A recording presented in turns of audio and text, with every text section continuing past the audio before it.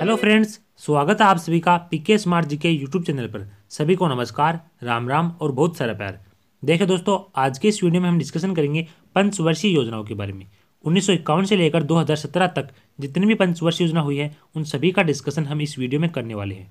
Video बहुत ही important है, क्योंकि लगभग एग्ज़ाम में यहाँ से एक क्वेश्चन ज़रूर पूछा जाएगा। तो आप वीडियो को कंप्लीट देखिएगा अंत तक।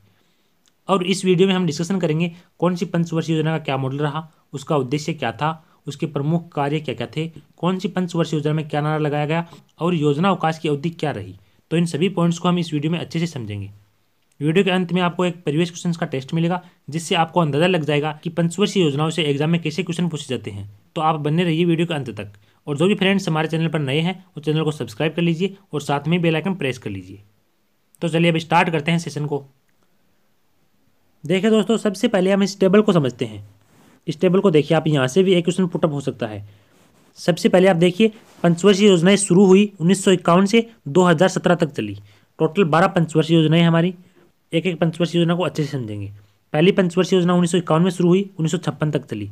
अब आपको देखना है, जो बीच में योजना अवकाश रहा है, उसको देखना है। योजना अवकाश तीन बार रहा है। पहला रहा है उन्नीस सौ छियासठ में, पहला योजना अवकाश रहा उन्नीस सौ छियासठ से उन्नीस सौ उनहत्तर तक। ये तीन साल का रहा। दूसरा योजना अवकाश रहा उन्नीस सौ अठहत्तर से उन्नीस ये दो साल का रहा। और तीसरा योजना अवकाश रहा उन्नीस सौ नब्बे से उन्नीस सौ बानवे तक, ये भी दो साल का रहा। अब इसको याद कैसे करेंगे? उन्नीस सौ छियासठ है। इन तीनों को आप याद कर लीजिए। उसके बाद में सभी पंचवर्ष योजनाओं का वर्ष आपको अच्छे से याद हो जाएगा। इसको कैसे याद करेंगे? उन्नीस सौ छियासठ में आप बारह ऐड कीजिए। बारह ऐड करोगे तो उन्नीस सौ अठहत्तर आ जाएगा। दूसरा योजना अवकाश उन्नीस सौ अठहत्तर में रहा। उसमें आप बारह ऐड कर लीजिए और उन्नीस सौ नब्बे आ जाएगा। जैसे उन्नीस सौ में बारह ऐड करोगे, उन्नीस सौ नब्बे आ जाएगा। तीसरा पंचवर्ष योजना अवकाश रहा उन्नीस सौ नब्बे से उन्नीस सौ बानवे तक। तो ऐसे आपको याद रखना है। यदि आपको तीनों अवकाश याद हो जाते हैं तो उसके बाद आपको सभी पंचवर्ष योजनाएँ याद हो जाएँगी। क्योंकि पंचवर्ष योजनाएँ हमेशा पाँच साल के अंतराल पर चलती हैं, जिससे आपको सभी में पाँच पाँच वर्ष ऐड करते जाना है और सभी आपको याद हो जाएँगे। ये तीन अवकाश आप याद रख लीजिए बस। अब देखिए स्टार्टिंग की तीनों योजनाएँ हैं। पहली दूसरी और तीसरी इनको तो याद करने की ज़रूरत नहीं उन्नीस सौ इक्यावन में शुरू हुई और पाँच ऐड करोगे उन्नीस सौ छप्पन आ जाएगा दूसरी उन्नीस सौ छप्पन में स्टार्ट हुई और उन्नीस में पाँच ऐड करते ही आ जाएगा तीसरा है उन्नीस सौ इकसठ में पाँच ऐड करोगे उन्नीस सौ छियासठ आ जाएगा उसके बाद उन्नीस सौ छियासठ से उन्नीस तीन साल का अवकाश रहा इस पहला तो आपको याद रखना है उन्नीस सौ छियासठ में शुरू हुआ उसके बाद बारह ऐड करना ठीक है उन्नीस सौ अठहत्तर और उसके बाद बारह ऐड करोगे तो उन्नीस सौ नब्बे से बानवे चौथी और पांचवी लगातार चली है उन्नीस सौ अठहत्तर तक छठी और सातवीं पंचवर्षीय योजनाएँ लगातार चली हैं। उसके बाद में योजना अवकाश आया उन्नीस सौ नब्बे से बानवे में और उसके बाद में जितनी पंचवर्षीय योजनाएँ चली हैं, वो लगातार चली हैं। उन्नीस सौ नब्बे से बानवे के बाद सभी पंचवर्षीय योजनाएँ पाँच पाँच साल के अंतराल पर चली है तो इससे आपको याद हो जाएगा। बारहवीं पंचवर्षीय योजना को आप ऐसे याद करना है कि बारहवीं पंचवर्षीय योजना दो हज़ार बारह में शुरू हुई और उसमें पाँच ऐड करोगे तो दो हज़ार सत्रह तक चली है। तो ये भी आपको याद हो जाएगी। बस आपको ये तीनों याद रखनी है कि योजना अवकाश कब कब रहा। जो मैंने आपको बता दिया, बारह ऐड करोगे तो नेक्स्ट योजना अवकाश आ जाएगा आपका। चलिए अब शुरू करते हैं। देखिए दोस्तों, सबसे पहले हम समझते हैं योजना आयोग को। पंचवर्षीय योजनाओं को लागू करने के लिए योजना आयोग का गठन किया गया। उसके बाद में अब 2015 में तो नीति आयोग आ गया। योजना आयोग के स्थान पर उसको हम बाद में समझेंगे। योजना आयोग का गठन 15 मार्च 1950 को हुआ। ये आपको याद रखना है 15 मार्च 1950 को योजना आयोग का गठन हुआ। ये क्वेश्चन एग्ज़ाम में पूछा गया है, ठीक है? भारत के प्रधानमंत्री ही इसके अध्यक्ष होते हैं। योजना आयोग के अध्यक्ष भारत के प्रधानमंत्री होते हैं और सबसे पहले प्रधानमंत्री कौन थे? भारत के जब भारत स्वतंत्र हुआ, तब पंडित जवाहरलाल नेहरू सबसे पहले भारत के प्रधानमंत्री बने थे। तो वही भारत योजना आयोग के अध्यक्ष थे। उपाध्यक्ष की बात करें तो गुलजार लाल नंदा थे। ये क्वेश्चन भी एग्ज़ाम में पूछा गया है कि योजना आयोग का प्रथम उपाध्यक्ष कौन था? तो वो था गुलजार लाल नंदा। ये भी आपको याद रखना है। आगे देखिए। अब योजना आयोग पंचवर्षीय योजनाओं को लागू करेगा और उनको सही ढंग से देखने के लिए वो किसकी देखरेख में लागू होंगी या किसकी देखरेख में उनको चलाया जाएगा तो उसके लिए नेशनल डेवलपमेंट काउंसिल, राष्ट्रीय विकास परिषद का गठन किया गया। इसका गठन छह अगस्त उन्नीस सौ बावन को किया गया और इसका प्रमुख उद्देश्य क्या था? योजना आयोग द्वारा लागू की गई पंचवर्षीय योजना को ठीक तरह से संचालित करने के लिए राष्ट्रीय विकास परिषद का गठन किया गया। किसके लिए? योजना आयोग द्वारा जो पंचवर्षीय योजनाएँ लागू की गई लागू की गई उन पंचवर्षीय योजनाओं को सही तरीके से संचालित करने के लिए कि पंचवर्षीय योजनाओं में जो लक्ष्य रखा गया है, जो टारगेट रखा गया है, वो कंप्लीट हो रहा है या नहीं हो रहा, कहाँ पर इसकी कमी है, कहाँ पर विकास ज़्यादा हो रहा है कहाँ पर कम हो रहा है उसके लिए राष्ट्रीय विकास परिषद का गठन किया गया। आगे देखिए आप। अब देखिए, ये है पहली पंचवर्षीय योजना। इसकी अवधि है उन्नीस सौ इक्यावन से उन्नीस सौ छप्पन तक। मॉडल की बात करें तो हेरा डोमर मॉडल पर आधारित है। मॉडल क्या होता है? मॉडल होता है कि किसने इसकी रूपरेखा तैयार की, इस योजना में कहाँ कहाँ पैसा लगाना है और किसके विकास पर अधिक फोकस करना है, इसको मॉडल कहा जाता है। ठीक है? तो पहली पंचवर्षीय योजना का मॉडल था हेरा डोमर मॉडल, इस पर यह आधारित थी। ये क्वेश्चन एग्ज़ाम में पूछा गया इंपॉर्टेंट है, याद रख लीजिए। पहली पंचवर्षीय योजना और दूसरी पंचवर्षीय योजना का मॉडल ही एग्ज़ाम में कई बार पूछा गया है तो इन दोनों को आप याद रख लीजिए। इसका उद्देश्य रखा गया कृषि विकास। पहली पंचवर्षीय योजना का उद्देश्य था कृषि विकास पर आधारित, कृषि विकास। ठीक है? ये क्वेश्चन भी एग्ज़ाम में पूछा गया है। अब उद्देश्य कृषि विकास रखा गया तो कृषि विकास किसे होगा? क्योंकि भारत हमेशा ही कृषि प्रधान देश रहा है तो पहली योजना में कृषि पर ही फोकस किया गया, और कृषि के लिए सबसे ज़्यादा ज़रूरी क्या होता है? सिंचाई परियोजनाएँ। कृषि के लिए सबसे ज़्यादा सबसे ज़्यादा ज़रूरी होता है सिंचाई परियोजनाएँ। तो सिंचाई परियोजना शुरू की गई, जैसे कि भागड़ा नांगल परियोजना, दामोदर नदी घाटी परियोजना और व्यास परियोजना, पहली पंचवर्षीय योजना के दौरान शुरू की गई। क्वेश्चन पूछा गया है कि, और पूछा भी जाए, पूछा भी जा सकता है आगे कि बाखड़ा नांगल परियोजना, दामोदर नदी घाटी परियोजना और व्यास परियोजना कौन सी पंचवर्षीय योजना में शुरू की गई? तो यह की पहली पंचवर्षीय योजना में। क्योंकि तो पहली पंचवर्षीय योजना का उद्देश्य था कृषि विकास, ठीक है? तो कृषि विकास के लिए सिंचाई परियोजना ज़रूरी होंगी तो बागड़ा नागर परियोजना, दामोदर नदी घाटी परियोजना और व्यास परियोजना पहली पंचवर्षीय योजना के दौरान इनका निर्माण किया गया। नेक्स्ट देखिए। नेक्स्ट है दूसरी पंचवर्षीय योजना। दूसरी पंचवर्षीय योजना की अवधि है उन्नीस सौ छप्पन से इकसठ तक। दूसरी पंचवर्षीय योजना का मॉडल है पीसी महाल नोबिस मॉडल ये भी एग्ज़ाम में कई बार पूछा गया है। इसका उद्देश्य था औद्योगिक विकास। अब कृषि का विकास हो गया तो उद्योगों का विकास करना पड़ेगा, क्योंकि रोज़गार को बढ़ाने के लिए उद्योगों का विकास करना पड़ेगा। तो उद्योगों का विकास करने के लिए सबसे पहले उद्योगों की स्थापना करनी पड़ेगी। तो कौन कौन से उद्योग पहले दूसरी पंचवर्षीय योजना के दौरान बनाए गए, वो देख लीजिए। इनमें अनेक महत्वपूर्ण उद्योग जैसे दुर्गा, दुर्गापुर भिलाई राउरकेला के इस्पात कारखाने स्थापित किए गए। दुर्गापुर भिलाई राउरकेला के इस्पात कारखाने हैं। पूछा गया है कि कौन सी पंचवर्षीय योजना के दौरान स्थापित किए गए तो ये कहेगा दूसरी पंचवर्षीय योजना के दौरान। ठीक है? क्योंकि इसका उद्देश्य था उद्योगों का विकास करना। तो उद्योगों का विकास करने के लिए उद्योगों की स्थापना की जाएगी। तो दुर्गापुर बिलाई और राउरकेला इस्पात कारखाने दूसरी पंचवर्षीय योजना के दौरान स्थापित किए गए। तो ये भी आपको याद रखना है। नेक्स्ट देखिए। नेक्स्ट है हमारी तीसरी पंचवर्षीय योजना। इसकी अवधि रही उन्नीस सौ इकसठ से छियासठ तक। उद्देश्य था आत्मनिर्भरता और कृषि एवं उद्योग का विकास। कृषि प्रथम पंचवर्षीय योजना का उद्देश्य था, दूसरी का था उद्योग का विकास और इसके साथ में जुड़ गया आत्मनिर्भरता। आत्मनिर्भरता शब्द का पहले प्रयोग किया गया तीसरी पंचवर्षीय योजना में। तो ये भी आपको याद रखना है। प्रमुख कार्य देखेंगे।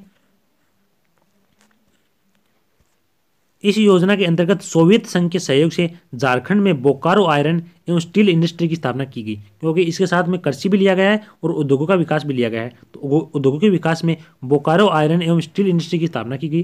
कृषि विकास में हरित क्रांति की शुरुआत हुई। हरित क्रांति, ये क्वेश्चन पूछा गया एग्ज़ाम में कि हरित क्रांति की शुरुआत कौन सी पंचवर्षीय योजना में हुई? तो ये हुई तीसरी पंचवर्षीय योजना में, ठीक है? सबसे असफल योजना क्योंकि उन्नीस सौ बासठ में भारत चीन का युद्ध हुआ, उन्नीस सौ पैंसठ में भारत पाक का युद्ध हुआ और फिर उन्नीस सौ छियासठ में सूखा पड़ गया, अकाल पड़ गया, जिसे ये सबसे असफल योजना रही। अब देखिए टाइम पर फोकस कीजिए आप।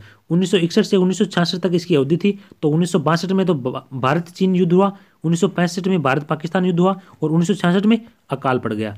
जिससे ये जिससे सबसे असफल योजना रही है तीसरी पंचवर्षीय योजना। ये क्वेश्चन भी एग्ज़ाम में पूछा गया है, क्योंकि भारत ने लक्ष्य रखा था कि इस योजना में इतनी जीडीपी को हासिल कर लेंगे, लेकिन इससे आधी ही प्राप्त हुई, जिसके कारण ये सबसे असफल योजना रही है। तो ये आपको याद रखना है। नेक्स्ट देखिए। नेक्स्ट नेक्स्ट आ गया योजना अवकाश।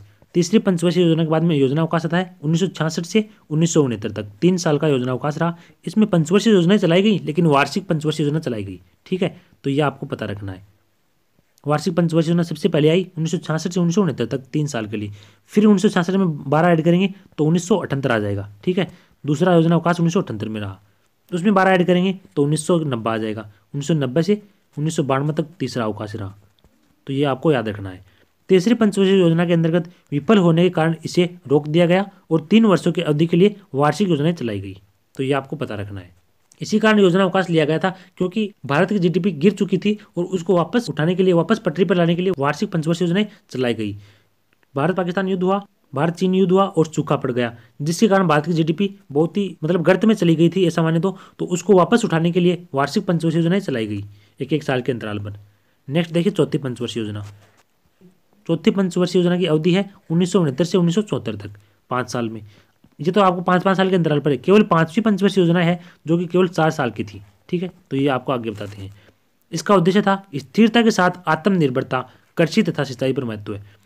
कृषि तथा सिंचाई पर महत्व है और स्थिरता के साथ आत्मनिर्भरता, ये पॉइंट आपको याद रखना है। क्वेश्चन में बहुत बार पूछा गया है, स्थिरता के साथ आत्मनिर्भरता कौन सी पंचवर्षीय योजना का उद्देश्य था? तो ये था चौथी पंचवर्षीय योजना का। तो इसको तो आप याद रख लीजिए। तभी याद कर लीजिए कि चौथी पंचवर्षीय योजना का उद्देश्य था स्थिरता के साथ आत्मनिर्भरता। ये नहीं पूछा जाएगा, आप, आपसे सिर्फ़ यही पूछा जाएगा कि स्थिरता के साथ आत्मनिर्भरता कौन सी पंचवर्षीय योजना का उद्देश्य था तो आपका आंसर होना चाहिए चौथी पंचवर्षीय योजना। ठीक है? इस योजना में भारत की कृषि वृद्धि दर सर्वाधिक रही। इस योजना में भारत की कृषि वृद्धि दर सर्वाधिक रही। यह भी क्वेश्चन पूछा जाता है कि कौन सी पंचवर्षीय योजना में सर्वाधिक कृषि वृद्धि दर रही तो वो रही चौथी पंचवर्षीय योजना में। और सबसे असफल योजना रही तीसरी। ठीक है? इन दोनों को आप याद रख लीजिए। नेक्स्ट इसका प्रमुख कार्य देखिए। चौदह चौदह बैंकों का राष्ट्रीयकरण हुआ और इसरो की स्थापना की गई। ये क्वेश्चन भी पूछा गया है। चौदह बैंकों का राष्ट्रीयकरण कौन सी पंचवर्षीय योजना के दौरान हुआ? तो ये हुआ चौथी पंचवर्षीय योजना के दौरान। इसरो की स्थापना कौन सी पंचवर्षीय योजना के दौरान हुई? तो यह भी चौथी पंचवर्षीय योजना के दौरान। ठीक है? तो इन दोनों को आप याद रख लीजिए। नेक्स्ट आती है पांचवी पंचवर्षीय योजना। पांचवी पंचवर्षीय योजना की अवधि थी उन्नीस सौ चौहत्तर से उन्नीस सौ अठहत्तर तक। मैंने बताया है, सभी पंचवर्षीय योजनाएँ पाँच वर्षों के अंतराल पर चलती हैं। लेकिन पांचवी पंचवर्षीय योजना ही ऐसी है जो केवल चार साल तक चली थी। क्यों चली थी? क्योंकि उन्नीस सौ चौहत्तर से अठहत्तर तक इंदिरा गांधी थी। प्रधानमंत्री कौन थी? इंदिरा गांधी। उन्नीस सौ चौहत्तर से उन्नीस सौ अठहत्तर तक इंदिरा गांधी प्रधानमंत्री थी। तो चार साल के बाद इंदिरा गांधी की सरकार गिर जाती है और उसके बाद में जनता पार्टी की सरकार आती है, जिसमें प्रधानमंत्री मोरारजी देसाई बने और उन्होंने पंचवर्षीय योजना को बंद करके वार्षिक पंचवर्ष योजना शुरू की। इसलिए ये चार साल तक ही चल पाई पंचवर्षीय योजना। ठीक है, पांचवी तो ये आपको याद रखना है। पांचवी ही एकमात्र ऐसी योजना है जो चार साल तक चली, ठीक है, और सभी पाँच पाँच साल के अंतराल पर चली। इसका उद्देश्य था गरीबी उन्मूलन और आत्मनिर्भरता पर बल। पूछा जाएगा कौन सी पंचवर्षीय योजना में गरीबी उन्मूलन और आत्मनिर्भरता पर बल दिया गया? तो वो दिएगा पांचवी पंचवर्षीय योजना में, याद करना है। नेक्स्ट देखिए, प्रमुख कार्य। पहली बार गरीबी हटाओ का नारा दिया गया। यह पहली योजना थी जो केवल चार साल ही चली। मैंने आपको बता दिया। गरीबी हटाओ का नारा। इसको भी आप याद रखना है। इसको भी आपको याद रखना है। पूछा जाता है एग्ज़ाम में कि गरीबी हटाओ का नारा कौन सी पंचवर्षीय योजना में दिया गया? तो ये देगा पांचवी पंचवर्षीय योजना में। ठीक है? नेक्स्ट देखिए। दूसरा योजना अवकाश आ गया अब। दूसरा योजना अवकाश रहा उन्नीस सौ अठहत्तर से अस्सी तक। दो साल का। क्योंकि पहला था उन्नीस सौ छियासठ से उन्नीस सौ उनहत्तर तक। तो इसमें छियासठ में बारह ऐड करोगे, उन्नीस आ जाएगा। मोरारजी देसाई के नेतृत्व वाली सरकार ने पंचवर्षीय योजनाओं को बंद करके वार्षिक योजनाएँ चलाई, जो मैंने आपको बता दिया। और ये केवल दो साल की चल पाई, क्योंकि दो साल के बाद में वापस इंदिरा गांधी की सरकार आ जाती है और छठी पंचवर्षीय योजना शुरू हो जाती है। अब देखिए, ये है छठी पंचवर्षीय योजना। इसकी अवधि रही 1980 से पिचासी तक। इसका उद्देश्य गरीबी उन्मूलन। इंदिरा गांधी की पांचवी जो पंचवर्षीय योजना चलाई थी इंदिरा गांधी ने, उसका भी यही उद्देश्य था गरीबी उन्मूलन तो उसके बाद में मोरारजी देसाई की सरकार आई, उन्होंने वार्षिक योजनाएँ चला दी, ठीक है एक एक साल के अंतराल पर। दो साल तक वो चली, उसके बाद वापस यही उद्देश्य रखा गया, गरीबी उन्मूलन और इसके साथ जोड़ दिया गया रोज़गार में वृद्धि, ठीक है तो ये भी आपको याद रखना है। प्रमुख कार्य नाबार्ड की स्थापना, पूछ लिया जाएगा कि नाबार्ड की स्थापना कौन सी पंचवर्षीय योजना के दौरान हुई तो ये हुई छठी पंचवर्षीय योजना के दौरान। नाबार्ड की फुल फॉर्म की बात करें तो national bank for agriculture and rural development, ये नाबार्ड की फुल फॉर्म है, इसकी स्थापना हुई उन्नीस सौ बयासी में। ठीक है, इसका मुख्यालय कहाँ पर है? मुंबई में। नाबार्ड की स्थापना की गई कृषि पर आधारित जो लोन देना होता है, वो नाबार्ड देता है, ठीक है? तो इसलिए नाबार्ड काम होता है कृषि पर आधारित जो भी लोन वगैरह देना होता है, वो नाबार्ड ही करता है। नेक्स्ट देखिए। नेक्स्ट है सातवीं पंचवर्षीय योजना। इसकी अवधि रही उन्नीस से नब्बे तक। उद्देश्य, रोज़गार, शिक्षा तथा जन स्वास्थ्य का विकास। ये भी इंपॉर्टेंट है। ये उद्देश्य पूछा गया कि रोज़गार, शिक्षा तथा जन स्वास्थ्य का विकास कौन सी पंचवर्षीय योजना का उद्देश्य था? तो ये था सातवीं पंचवर्षीय योजना का। ठीक है? प्रमुख कार्य गरीबी की माप सबसे पहले इस योजना के दौरान लक्कड़वाल समिति द्वारा हुई थी। अब इसको समझिए लक्कड़वाल समिति। अब देखो, पंचवर्षीय योजना चला दी तो कहाँ पर कौन ज़्यादा गरीब है, कौन ज़्यादा अमीर है, इसको देखने के लिए लकड़वाल समिति बनाई गई। जिसका उद्देश्य था गरीबी की माप करना, ठीक है? तो लकड़वाल समिति, ये क्वेश्चन एग्ज़ाम में पूछा गया है कि लकड़वाल समिति क्यों बनाई गई, कौन सी पंचवर्षीय योजना में बनाई गई? तो ये बनाई गई सातवीं पंचवर्षीय योजना में, ठीक है?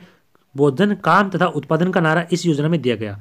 ये भी पूछा गया एग्ज़ाम में। भोजन काम तथा उत्पादन का नारा कौन सी पंचवर्षीय योजना में दिया गया? तो ये देगा सातवीं पंचवर्षीय योजना में, याद करना है, ठीक है? नेक्स्ट देखिए 1990 से उन्नीस सौ बानवे के दौरान भारत आर्थिक संकट से जूझ रहा था, इस कारण वार्षिक योजनाएँ चलाई गई। उन्नीस सौ अठहत्तर से 1980 तक दूसरी दूसरा योजना अवकाश था उन्नीस सौ अठहत्तर में प्लस बारह करोगे तो उन्नीस सौ नब्बे आ जाएगा उन्नीस सौ नब्बे से उन्नीस सौ बानवे तक तीसरा योजना अवकाश रहा जिसमें वार्षिक पंचवर्षीय योजनाएँ चलाई गई आगे देखिए तीसरी तीसरा योजना अवकाश उन्नीस सौ नब्बे से बानवे के दौरान भारत आर्थिक संकट से जूझ रहा था इस कारण वार्षिक योजना चलाई गई ठीक है आठवीं पंचवर्षीय योजना देखिए इसकी अवधि उन्नीस सौ उन्नीस से उन्नीस सौ सत्तानवे तक सत्तानवे कर लेना इसको। मिसप्रिंट होगा, ठीक है? उद्देश्य मानव संसाधन के साथ विकास। मानव संसाधन के साथ विकास कौन सी पंचवर्षीय योजना का उद्देश्य था? आठवीं पंचवर्षीय योजना, ठीक है? इसके प्रमुख कार्य इस काल इस काल में प्रधानमंत्री रोज़गार योजना उन्नीस सौ तिरानवे की शुरुआत की गई। ये क्वेश्चन पूछा गया एग्ज़ाम में। प्रधानमंत्री रोज़गार योजना उन्नीस सौ तिरानवे की शुरुआत कौन सी पंचवर्षीय योजना में की गई? तो ये कार्यकाल पर फोकस कीजिए आप। उन्नीस से सत्तानवे के बीच में आता है उन्नीस सौ तिरानवे। इसलिए उन्नीस सौ तिरानवे में प्रधानमंत्री रोज़गार योजना शुरू की गई। इसको आप याद रख लीजिए। नेक्स्ट देखिए, नौवीं पंचवर्षीय योजना। नौवीं पंचवर्षीय योजना का अवधि काल था उन्नीस सौ सत्तानवे से दो हज़ार दो। नौवीं और दसवीं पंचवर्षीय योजना में ज़्यादा खास नहीं कुछ, और ये आपको पूछा भी नहीं जाएगा, बहुत ही रेयर चांस में पूछ सकते हैं। तो वो भी दसवीं पंचवर्षीय योजना। इसका उद्देश्य था न्यायपूर्ण वितरण तथा समानता के साथ विकास। कि कहीं भ्रष्टाचार के कारण पैसा बर्बाद तो नहीं हो रहा है तो उसके लिए न्यायपूर्ण वितरण और समानता के साथ विकास की का उद्देश्य नौवीं पंचवर्षीय योजना का रखा गया। इस उद्देश्य को आप याद रख लीजिए। दसवीं पंचवर्षीय योजना देखिए। दसवीं पंचवर्षीय योजना का अवधि काल रहा दो हज़ार दो से दो हज़ार सात तक, ठीक है? उद्देश्य, गरीबी और बेरोजगारी को समाप्त करना इसका उद्देश्य था। अगले दस वर्षों में प्रति व्यक्ति आय दोगुनी करना, ये इंपॉर्टेंट है। दस, अगले दस वर्षों में प्रति व्यक्ति आय दोगुनी करना कौन सी पंचवर्षीय योजना का उद्देश्य था? तो ये था दसवीं पंचवर्षीय योजना। दस वर्षों और दस, दसवीं पंचवर्षीय योजना। दस वर्षों के, दस वर्षों में और दसवीं पंचवर्षीय योजना। इसे आप कनेक्ट कर लीजिए। जिससे आपको याद हो जाएगा। दसवीं पंचवर्षीय योजना का उद्देश्य था कि दस वर्षों में प्रति व्यक्ति आय को दोगुना करना। नेक्स्ट है ग्यारहवीं पंचवर्षीय योजना। इसका अवधि काल रहा 2007 से 2012 तक। उद्देश्य तीव्रतम एवं समावेशी विकास। इस उद्देश्य को आप याद रख लीजिए। पूछ सकता है कि तीव्रतम एवं समावेशी विकास कौन सी पंचवर्षीय योजना का उद्देश्य था? तो ये था ग्यारहवीं पंचवर्षीय योजना, ठीक है? अब 2012 में समाप्त हुई। बारहवीं पंचवर्षीय योजना भी 2012 में स्टार्ट हो जाएगी। तो बारहवीं पंचवर्षीय योजना 2012 में। ये तो आपको वैसे ही याद हो जाएगी। बारहवीं पंचवर्षीय योजना 2012 में 2017 तक चली, ठीक है? बारह में ऐड करोगे पाँच, दो हज़ार सत्रह आ जाएगा। 2012 से 2017 तक बारहवीं पंचवर्षीय योजना चली। उद्देश्य इसका था तीव्रता और समावेशी सतत विकास सतत विकास। इसको आप याद रख लीजिए। ये क्वेश्चन पूछा गया है कि तीव्रता और समावेशी विकास के साथ सतत विकास, ये कौन सी पंचवर्षीय योजना का उद्देश्य रहा है? तो ये रहा बारहवीं पंचवर्षीय योजना का। तो इस उद्देश्य को आप याद रख लीजिए इंपॉर्टेंट है एग्ज़ाम में पूछा भी गया है। तो फ्रेंड्स ये थी हमारे आज की पंचवर्षीय योजनाएँ। अब हम देखेंगे प्रीवियस क्वेश्चन प्रीवियस क्वेश्चन देखेंगे, कैसे क्वेश्चन यहाँ से पूछे गए हैं। उस तरह से आपको याद करना है, ठीक है? तो हमारा पहला क्वेश्चन है, भारत की पंचवर्षीय योजना को अंतिम मंजूरी कौन प्रदान करता है? तो ये करता है राष्ट्रीय विकास परिषद एनडीसी जो मैंने आपको बता दिया, ठीक है? राष्ट्रीय विकास परिषद भारतीय पंचवर्षीय योजना को अंतिम रूप से मंजूरी प्रदान करता है और लागू कौन करता है? योजना आयोग। और देख रेख होती है राष्ट्रीय विकास परिषद के अनुसार। नेक्स्ट क्वेश्चन है भारत की प्रथम पंचवर्षीय योजना कब शुरू हुई? तो ये हुई उन्नीस सौ इक्यावन में। इसको तो आप याद कर लीजिए। नेक्स्ट क्वेश्चन है। भारत की प्रथम पंचवर्षीय योजना खालिस्तान मॉडल पर आधारित थी। ये क्वेश्चन भी पूछा गया है। तो प्रथम पंचवर्षीय योजना थी हेराड मॉडल पर आधारित। ठीक है? ये याद रखना। दूसरी थी महाल नोबिस मॉडल पर आधारित। ये दूसरी पंचवर्षीय योजना का मॉडल है। नेक्स्ट क्वेश्चन देखिए। भारत की प्रथम पंचवर्षीय योजना का प्रमुख लक्ष्य क्या था? तो मैंने बताया सबसे पहले कृषि का विकास। यह प्रथम पंचवर्षीय योजना का उद्देश्य रखा गया था। उद्योगों का विकास, यह दूसरी पंचवर्षीय योजना का उद्देश्य था, ठीक है? नेक्स्ट देखिए। नेक्स्ट फाइव का क्वेश्चन है, किस पंचवर्षीय योजना के दौरान भारत ने गरीबी हटाओ का नारा दिया? मैंने कहा क्वेश्चन पूछा गया है। जो प्रीवियस एग्ज़ाम्स में पूछे गए हैं, वही क्वेश्चन मैंने इसमें ऐड किए हैं। तो गरीबी हटाओ का नारा पांचवी पंचवर्षीय योजना के दौरान दिया गया डी ऑप्शन करेक्ट हो जाएगा। किस पंचवर्षीय योजना के दौरान भारत ने मिश्रित अर्थव्यवस्था चुनी थी। तो ये चुनी थी दूसरी पंचवर्षीय योजना के दौरान, ठीक है? जो कि महाल नोबिस मॉडल पर आधारित थी। नेक्स्ट क्वेश्चन देखिए। नेक्स्ट क्वेश्चन है, भारत में योजना अवकाश कब घोषित किया गया था? तो फ्रेंड्स भारत में योजना अवकाश सबसे पहले तीसरी पंचवर्षीय योजना के बाद स्टार्ट किया गया था, उन्नीस सौ छियासठ से उन्नीस सौ उनहत्तर तक, ठीक है? ये पहला योजना अवकाश था। नेक्स्ट देखिए। जवाहर जवाहर रोज़गार योजना खालिस्तान के दौरान शुरू की गई थी। तो फ्रेंड्स जवाहर रोज़गार योजना सातवीं पंचवर्षीय योजना के दौरान शुरू की गई थी। ये भी आपको याद रखना है। नेक्स्ट क्वेश्चन देखिए। खालिस्तान के बीच तीन वार्षिक योजनाएँ लागू की गई। तो मैंने बताया, पहला जो योजना अवकाश था उन्नीस सौ छियासठ से उन्नीस सौ उनहत्तर तक, उसमें तीन वार्षिक योजनाएँ चलाई गई एक एक साल के अंतराल पर। तो ये तो आपको याद रखना है। नेक्स्ट देखिए। हमारा नेक्स्ट और आखिरी क्वेश्चन है, राष्ट्रीय विकास परिषद में खालिस्तान शामिल होते हैं। तो फ्रेंड्स राष्ट्रीय विकास परिषद में योजना आयोग के सदस्य और राज्यों के मुख्यमंत्री, दोनों दोनों शामिल होते हैं। तो डी ऑप्शन करेक्ट हो जाएगा ए और सी दोनों। तो ये थे आज के हमारे इंपॉर्टेंट क्वेश्चन उम्मीद करता हूँ आपको सेशन पसंद आया होगा। कमेंट करके ज़रूर बताइए कि आपको सेशन कैसा लगा।